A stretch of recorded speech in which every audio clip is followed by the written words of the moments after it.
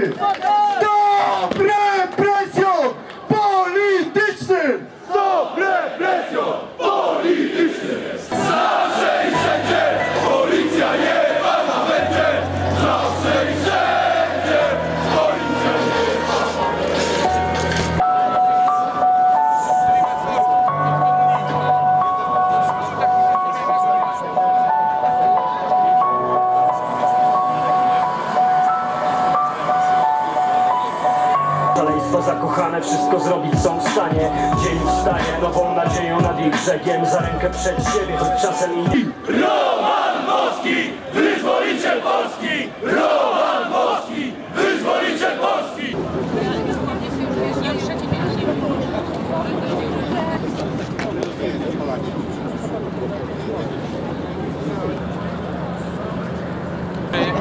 mówić o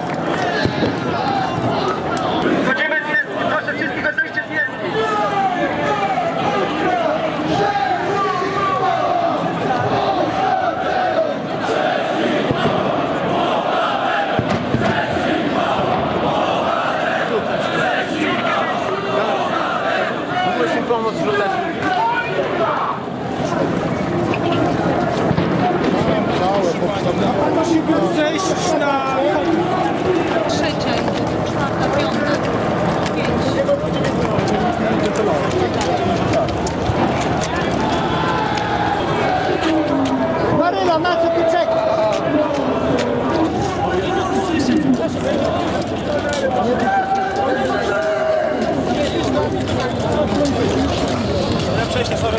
Nie ma przejścia. Do tyłu namachić. Cześć góral!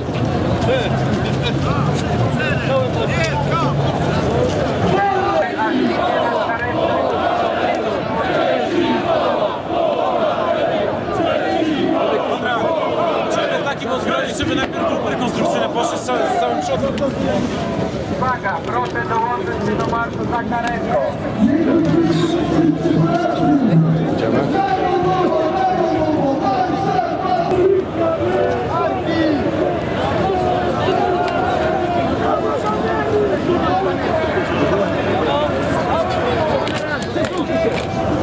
Przesuńcie się jeszcze do tyłu, do karetki.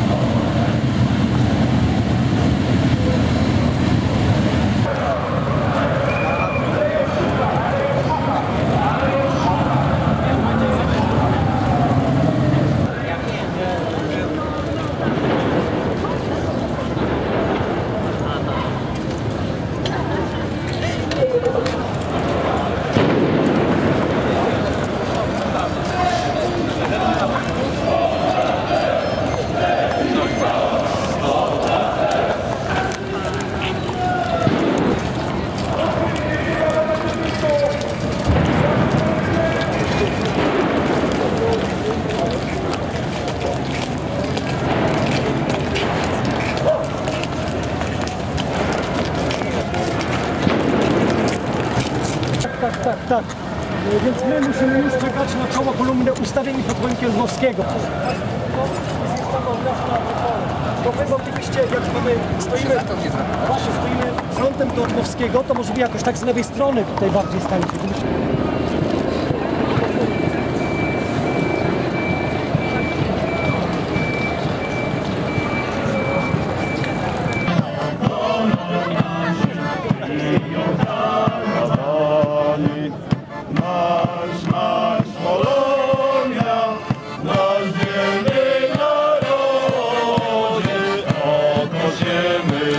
swej pracy broni.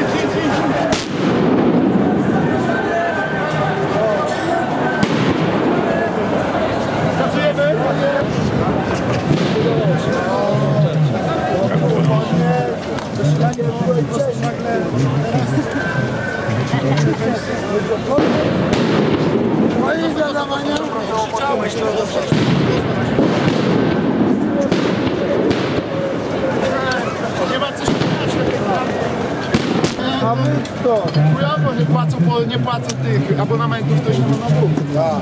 Jakby prezesi mniejsze pensje, to może... Za nasze pieniądze to wiesz? Ja nie płacę, to mam wyjebane. Nie ma wozu. Za nasze pieniądze. Jesteśmy z telewizji. A gdzie, a gdzie ekipa Waltera? Jaka? Gdzie ekipa Waltera? Już im się nie opłacało samochodu, nie? Panowie, no ale ja mam za ekipę Waltera. No nie, no tak? Co? Tadla. Tadla sprawa. No chyba, a ma do tego, do y, telewizji. Many, many, many.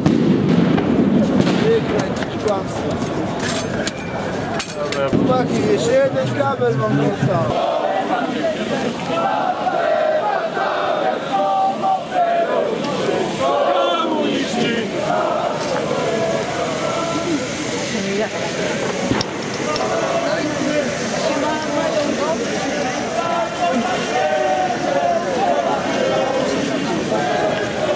A dziś udało nam się wyjść z kolejnego kotła.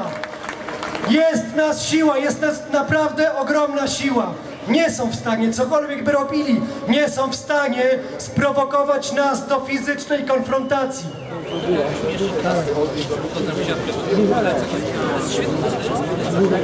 Pokażmy jeszcze raz, ile nas jest!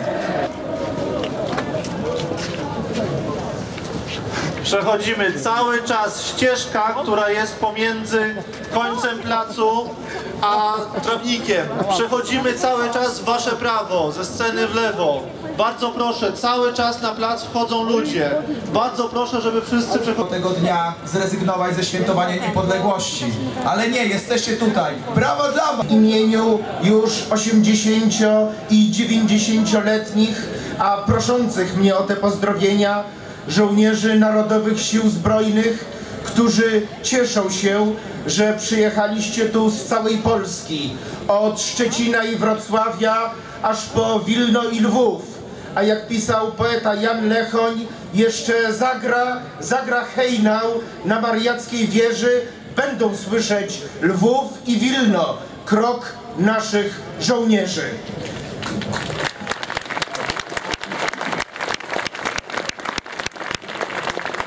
Przyjaciele, jestem z Was dumny, ponieważ stanowicie duszę narodu polskiego. A jak mówi Ewangelia staropolskim językiem, ciało mogą, lecz duszy zabić nie mogą. To dzięki Wam, tej żywotnej duszy narodu polskiego, możemy jako ojczyzna miłować przyjacioły i nieprzyjacioły nasze, ale także walczyć z wrogami polskości aż do ich ostatniego tchnienia, które oby wkrótce nastąpiło.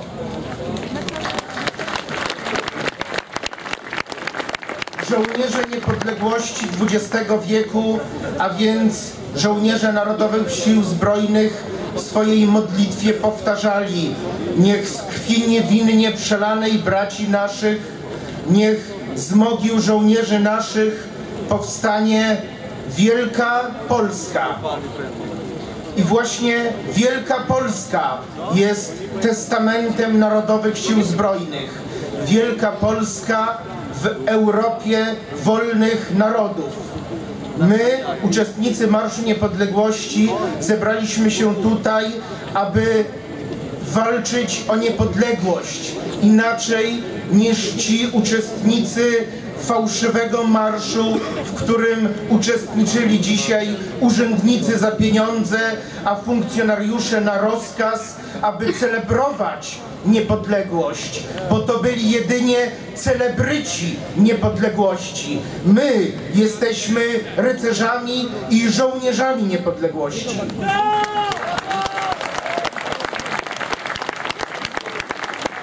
I dlatego w imieniu uczestników Marszu Niepodległości oskarżam i to oskarżam po pięciokroć prezydenta i premiera, że sprzeniewierzyli się polskiej niepodległości.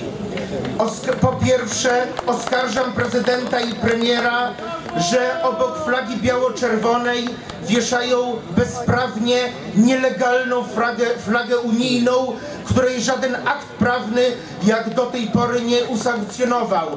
W Wielkiej Polsce nie będzie flagi unijnej, ale od Wawelu po Pałac Prezydencki będą powiewać wyłącznie biało-czerwone barwy niezwyciężone.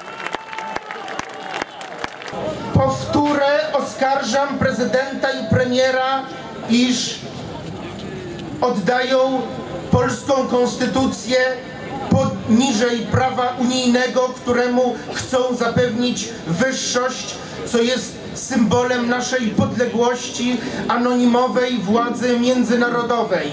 W Wielkiej Polsce żadne zobowiązania międzynarodowe nie będą ważniejsze niż nowa i narodowa konstytucja będąca fundamentem życia państwowego. Brawo!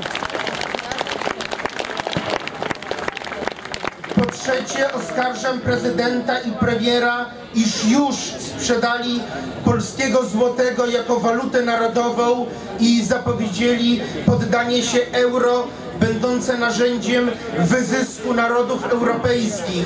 Euro, dzięki któremu nowy Führer, czyli niemiecki kanclerz federalny, może ujarzmiać narody Europy. W Wielkiej Polsce tylko polski złoty będzie jedyną dopuszczalną walutą w obrocie gospodarczym.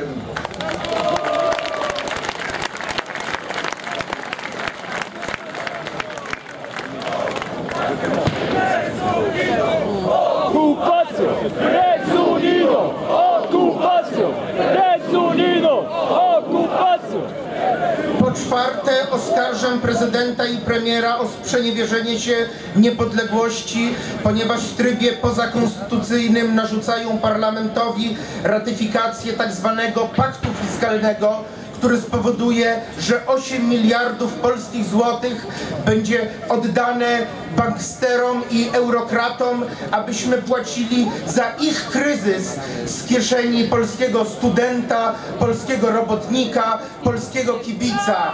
W Wielkiej Polsce wszystkie podatki zebrane uczciwie od podatników będą służyć wyłącznie celom polskim i narodowym.